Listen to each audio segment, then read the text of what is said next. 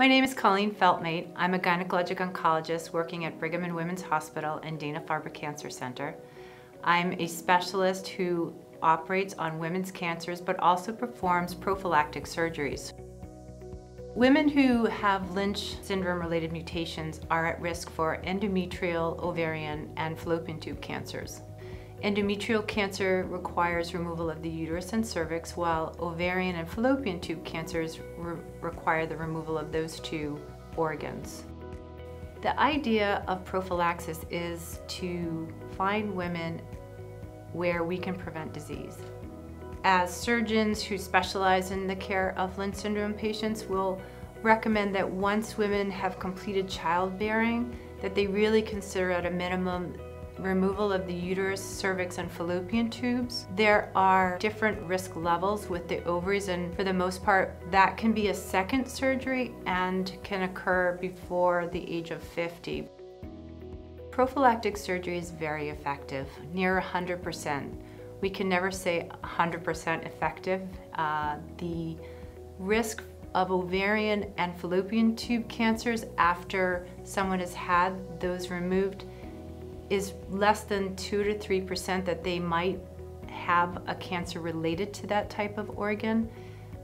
In terms of endometrial cancer, once the uterus and the cervix have been removed, the likelihood of having endometrial cancer diagnosed is near zero. The decision to undergo prophylactic surgery is really a complex surgical decision between your provider and you and relies upon a number of different factors. Part of it is the specific mutation that you carry. The other is that family history can play a really large role in your elevation of risk regardless of the mutation that you have because that tells us something about the fact that that mutation somehow led to a cancer developing in your family. And the age of that person who had the cancer is a marker for your risk of that of developing that disease in our minds. Thankfully, most of our surgeries are done laparoscopically, which requires a very small incision, a camera, and oftentimes you're able to go home the same day.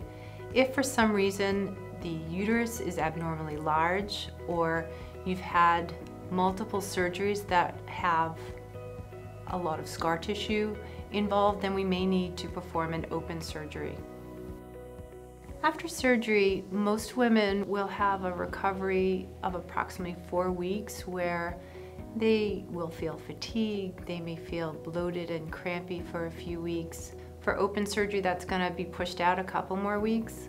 Longer term, the recovery, especially for young women or women who are sexually active, the main constraint is not being able to have intercourse for eight weeks after surgery until things have healed well.